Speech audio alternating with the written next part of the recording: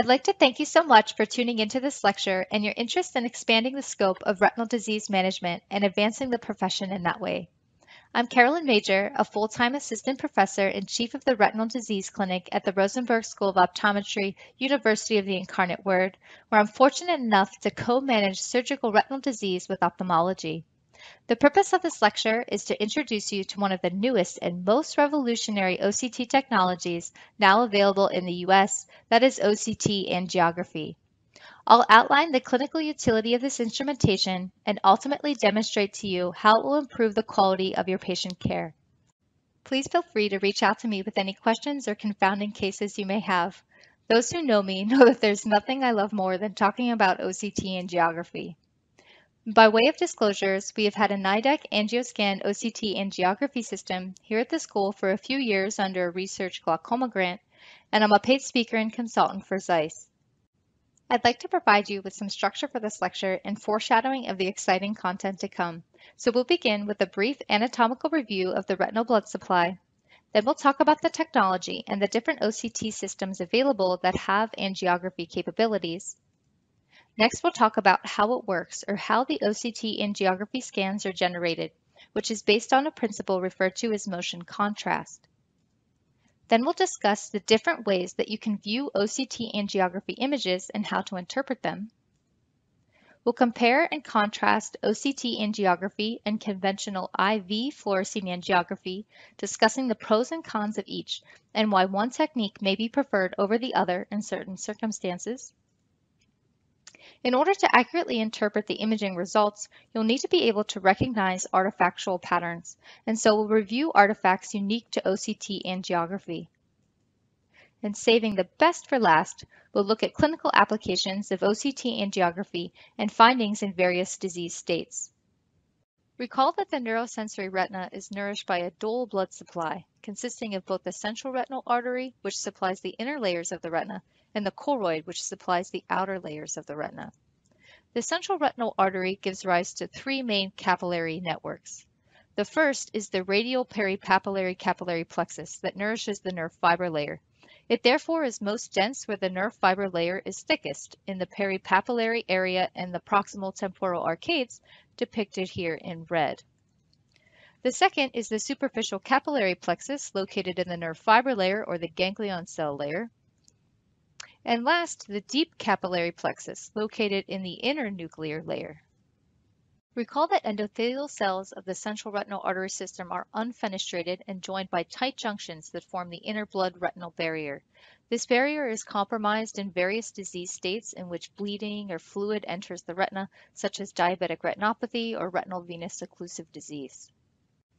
So by way of introduction, OCT angiography is non-invasive since no dye injection is required, which avoids the potential side effects of conventional IV fluorescein angiography, such as anaphylaxis, nausea, vomiting, extravasation, etc. Its non-invasive nature also allows us to perform imaging even when it's not deemed medically necessary to the diagnosis or treatment of the condition, but we simply want to gain a better understanding of what's going on with the retinal circulation. And flow imaging, uh, what I mean by that is that OCT angiography is not a true form of angiography. Because there's no dye injection required, we're not watching where dye traverses over time, but instead visualizing a snapshot of how fast red blood cells are traveling in a vessel lumen at the moment the scan was taken. Similar to the conventional OCT macular cube scan that we're all used to, we end up with a volumetric cube of data that allows us to segment out and isolate particular capillary systems, such as the superficial capillary plexus of the central retinal artery, the deep capillary plexus of the central retinal artery, the choriocapillaris, and the choroid. Most OCT angiography systems display conventional structural OCT data and angiography data side by side, and these can even be superimposed upon one another. This allows for precise localizations of vascular lesions such as a choroidal neovascular membrane underlying a pigment epithelial detachment and potential sources of macular edema. Both are the case here. Currently, three FDA-cleared OCT angiography systems are commercially available for purchase in the U.S. The Zeiss Angioplex available on the Cirrus 5000 HD OCT instrument, the Optovue AngioVue available on the Avanti, and the Heidelberg OCT angiography module available on the Spectralis. Several other systems are either still in development or awaiting FDA clearance, such as the Nidek AngioScan and the angiography component of the Topcon Triton Swept Source OCT. The hard and software of OCT angiography technology are nearly identical to that used to acquire a traditional macular cube scan, except for doing it four times consecutively. And those four scans are then compared and any differences are assumed to be due to movement of red blood cells. So essentially, we're generating a 3D volumetric map of red blood cell movement. Similar to how a fluorescein angiography camera is designed to only capture fluorescein dye fluorescence because of excitatory and barrier filters, OCT angiography only captures movement. So if you scan the eye, say, of a dead person, which hopefully you know, none of us are doing out in, in practice, the theory is that that image would be totally black because there is no red blood cell movement in that eye. An inherent challenge of OCT angiography systems is finding a way to display 3D volumetric data in a 2D format that is easy for clinicians to understand and analyze.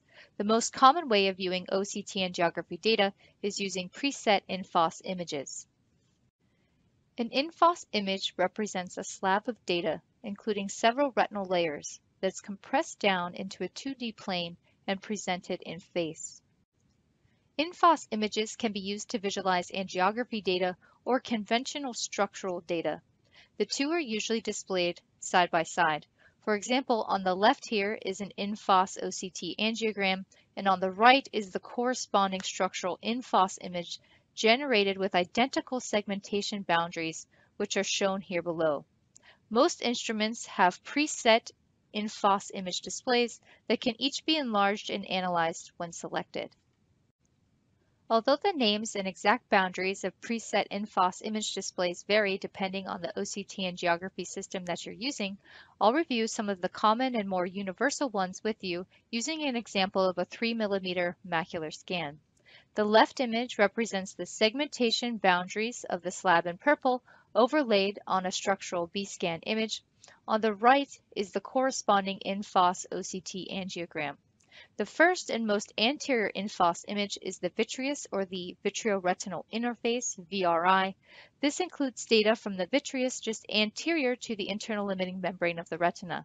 In a healthy eye, the vitreoretinal interface should be void of signal or black, since no vascular movement occurs in the vitreous.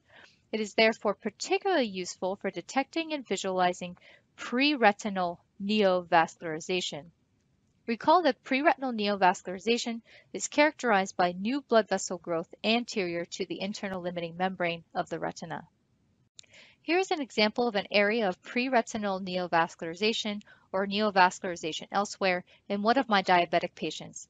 You can see how the neovascular membrane is readily detected and isolated out on the vitreoretinal interface image. You can also see how the membrane itself is growing on the posterior hyaloid of the retina and is therefore detected in this en face display. Moving from anterior to posterior, the next en face image is the superficial retina, which is a compression of the nerve fiber, ganglion cell, and inner plexiform layers. This isolates out the superficial capillary plexus of the central retinal artery and highlights the contour and size of the normal foveal avascular zone. Next is the deep retina, which represents the compression of the inner nuclear and the outer plexiform layers that isolates out the deep capillary plexus of the central retinal artery. Here the capillaries are organized into many tufts or vortexes, and the normal vascular zone can again be visualized. Moving along, we have the avascular or outer retinal en face display. The name and segmentation boundaries vary depending upon the instrument that you're using, but all include some combination of photoreceptors and RPE. These structures are normally avascular and therefore the display should be black or void of signal. This en face display was specifically designed to aid in the detection of choroidal neovascular membranes. Here's an example of an eye with AMD and a very small choroidal neovascular membrane, the circular cluster of vessels here. You can really appreciate how the neovascular membrane is readily detected and isolated out on the avascular en face display.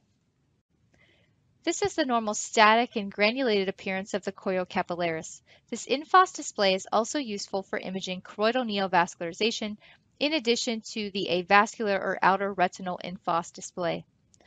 These large dark vessels here are shadow artifacts of the overlying uh, central retinal artery vessels. And lastly, this is the choroid, which typically looks like large static or speckle on this magnified 3 by 3 millimeter scan.